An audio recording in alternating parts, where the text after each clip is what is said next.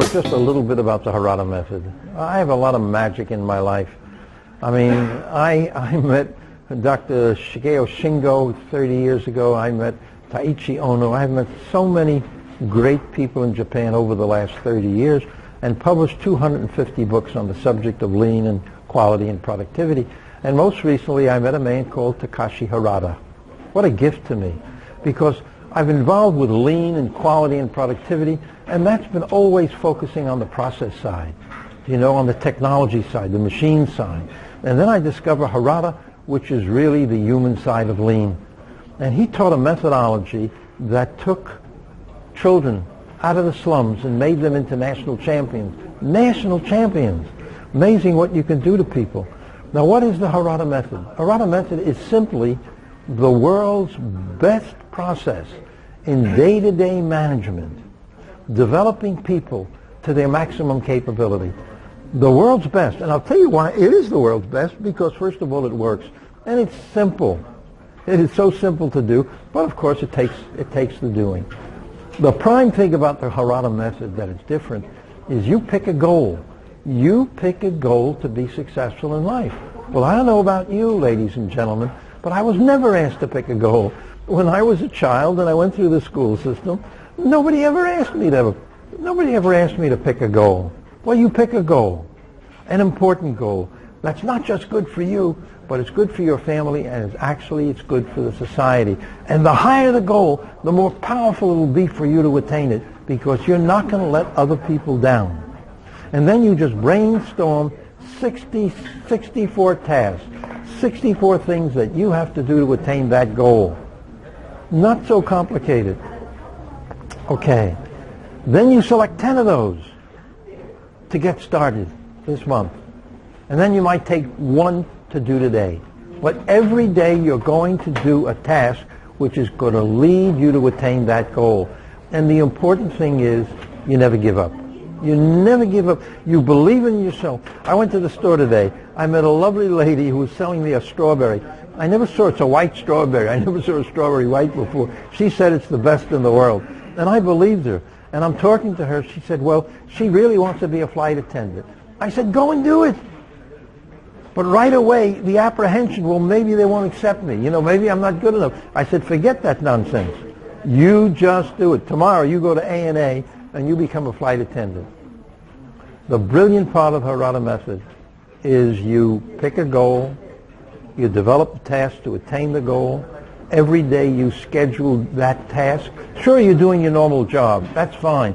But you make sure that you're doing this one task today. At the end of the day, did you do what you want to do?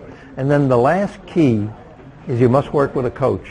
You have to work with somebody who's going to support you, who's going to pat you on the back, who's going to keep you in the right direction. The Harada method is the most powerful process that I have discovered in the last 20 years. Thank you very much. So you're the paparazzi?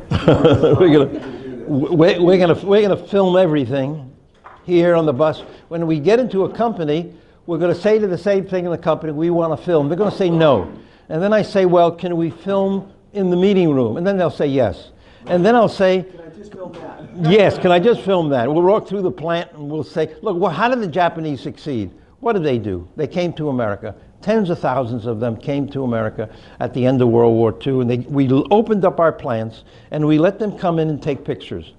And so they said to the manager, I want to take your picture. And the manager, of course, says yes. And they would say to the manager, Could you stand here? And the manager would stand here. And then they would say to the manager, Could you move over just a little bit? and then they took their technology back here and look at what they've done.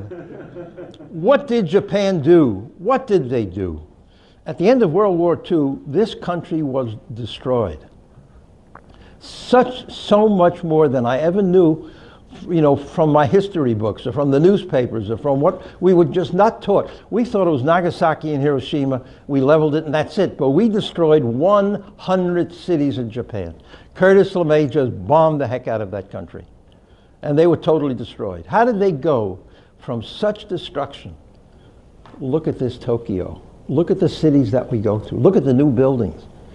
Now, China is doing it, of course. But what are they doing and what's happening in our society? When I say, I'm primarily saying America, even though I got one Englishman and one Israeli and four Spanish people, we're all one and the same. What are we not doing that they're doing? And how could we change that? Now that's another thing. How can, you notice I just said, how can we change that? Who's going to change the world? You are, of course. You're going to do it. This group on this trip is going to synthesize. We're going to get the best information that we're going to suck. I got to be very careful with the ladies in the room. But she can handle it. She's heard it all. I wouldn't have on this trip. What we're going to do is look, we're here to suck on the tits of Japan and to take out that nucleus and to bring it back with us. And we can do it. You just have. Thank you. You just have to believe what you're capable of doing. What I love on the the lean I like. the thing is, what could I give Paul when he has everything? I mean, this man's clown, climbed Mount Everest. I love that no, video. That was beautiful. it's just wonderful what you could accomplish if you believe in yourself. Okay, so what can I give him? I mean, he's a master of lean. His company is amazing. I love his book very much. And this is real sincerity. What can I give this man who has everything? Okay, this is it. Maybe, I'm not sure. This is it. What the Japanese have that we haven't begun to understand, there's a few things. But one is they have a philosophy. Every Japanese company has a philosophy. They have something that people can believe in. Not just going to work and getting a job, you know, not just going to work making enough money for the stockholders, which is the philosophy in America. They have a philosophy of why we have a business. What is the purpose of our business? Why do I make these products? What is the use of this product to make a great world that we live in? Because the way we've, we've done more damage in the last hundred years than we've done in the last million years of, of, of this earth. And we can't continue in this direction. Every corporation that we will visit has a dual responsibility. One is to be successful in business, and two is to save this world. Every one of them is focusing on the environment. They're not waiting for the governments to solve this problem, they're doing it. When I first came here 30 years ago, you know, there was no, there was no live fish in the river. Now you can take your fishing pole and go out to the river and, and, and collect fish. They've really made tremendous changes. But they start with a very strong philosophy that people can believe in.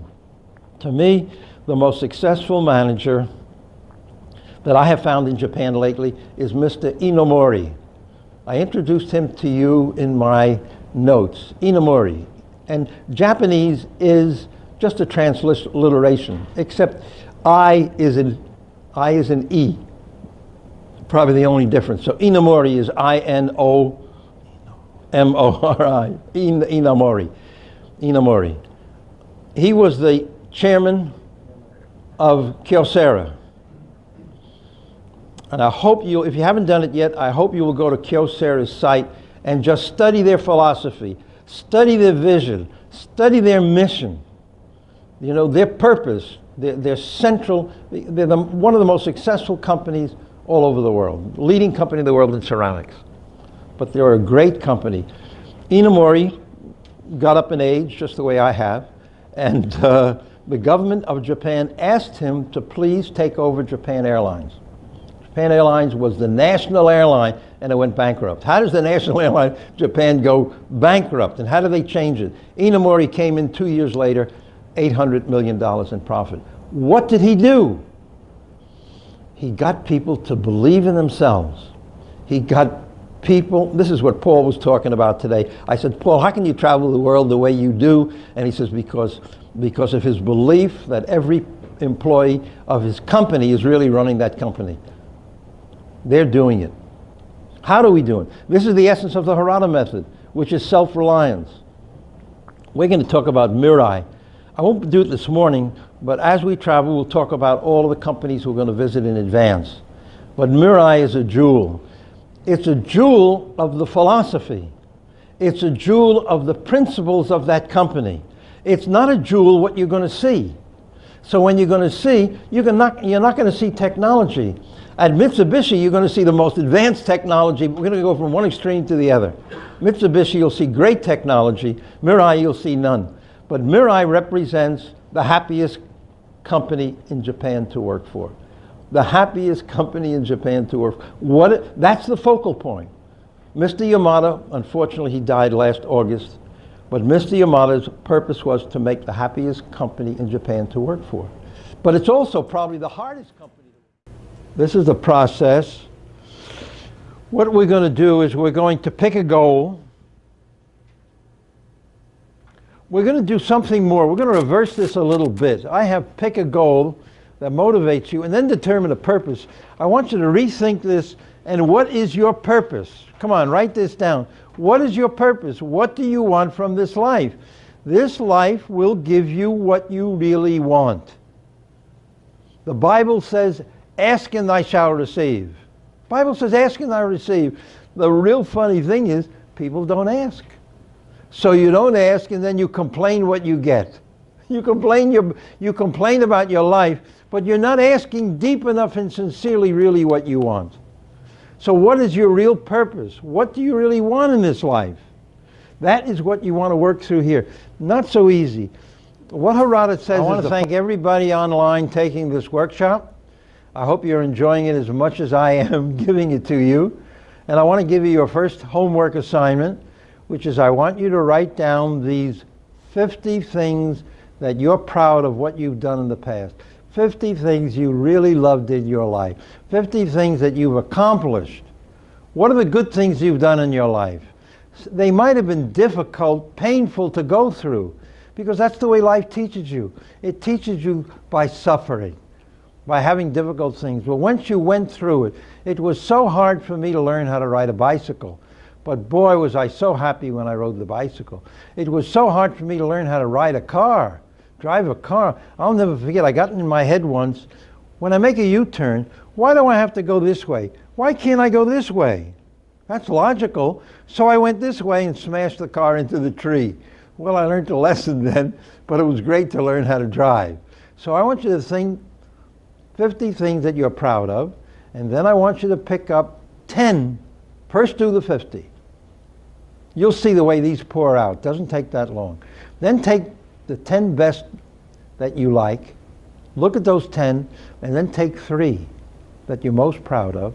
Then talk to your friends, talk to your associates, and say, you know, these are the things that I think I did the best in the past. What should I pick for my future? And then pick one. Pick one goal based upon your strength, based upon your experience. Doesn't mean you can't learn new things, but I want you to pick a solid goal, something that you feel wonderful about. That's your first assignment.